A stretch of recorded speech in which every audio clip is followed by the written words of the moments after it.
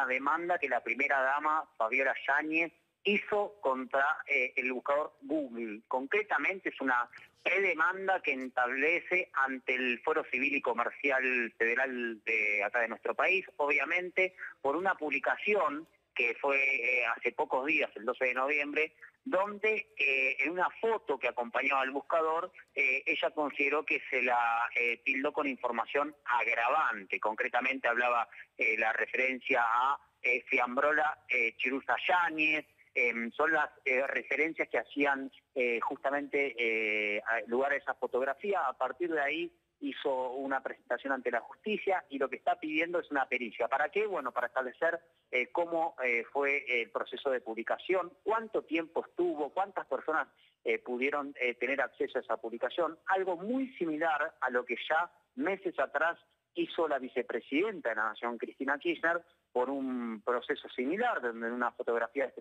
la, tildaba de ladrona de la nación, y ahora obviamente se, sorteó un fuero civil y comercial que va a tener que resolver esto, el pedido de pericia que está haciendo la primera dama, algo que también está buscando la vicepresidenta Cristina Kirchner, cuyo planteo incluso llega hasta la cabeza del Poder Judicial con presentaciones ante la Corte Suprema de Justicia de la Nación. ¿Vos crees que la señora eh, Fabiola va a ir en la misma dirección entonces con, ese planteo incluso hasta una instancia tan alta?